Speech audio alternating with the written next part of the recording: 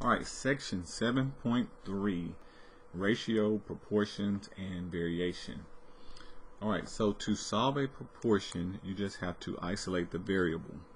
So this first one, we have t divided by 24 is equal to 12 divided by 72. So a lot of people would want to cross multiply and you can do that but it just adds a step. Really all you need to do to get t by itself is to multiply by 24 since it's being divided by 24. You got to make sure your variable is on the top. So when it's on the top then that's that's all you have to do. But when it's on the bottom, which we'll probably see, then we have to multiply to bring it up. So we'll probably have to cross multiply in that instance. But here, we just have to multiply by 24. So I'm going to add 24 here and whatever you do to one side you do to the other. Alright so look 24 divided by 24 will be gone. So now t equals whatever we have. Okay. Now 24 and 72 are factors of each other.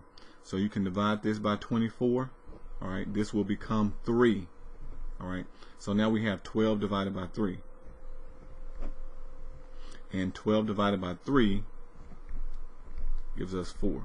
So t equals 4. What you should do, uh, plug it in and reduce to check um, just to make sure. So if you do 4 divided by 24, see what you get. 12 divided by 72, see what you get. If they're both equal, then you know you have done this correctly.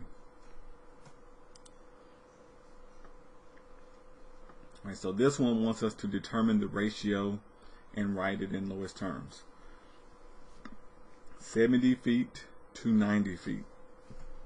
Okay. So when we do ratio, okay, we just kind of separate it with comma. 70 to 90, like this. All right. And then both these guys are divisible by 10. All right, so divide them by 10 and we get 7 to 9. All right, so this is the ratio when we do ratios, we just do this colon this, or you can write uh, 7 to 9 like that. But that's the way we do ratios. Um, so we're going to say 7 to 9.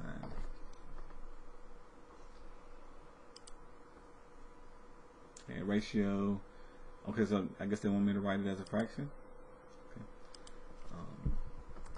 You can write usually when they write a ratio they want it like this side to side. Um, but in this case I guess they want us to stack it as a um, fraction okay? All of these mean the same thing okay? So that's what I just saw anyway. 7 divided by 9 and then usually if you type the 2 it'll say that's a wrong character but and then give any, any indication that time. Alright so this one uh, we want to determine the ratio write it in lowest terms 216 inches, 3 feet. Alright, notice there's a different in units. The units is different. Alright, so what we need to do is convert them to the same units. Alright, so I'm going to say 216 inches. Alright, on the bottom we have 3 feet. Alright, there's 12 inches in the foot, so I'm going to do 3 times 12 to convert this to inches. Now let me actually do the, the correct setup. 3 feet,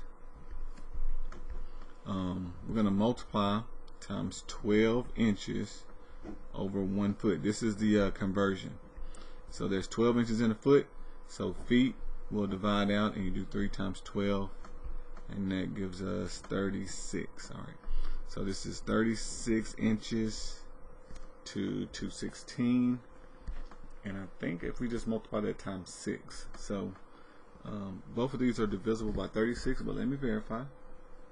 Let me get that little basic calculator out. Let me divide by 6 first. So I'm going to say 216 divided by 6 and then divide that by 6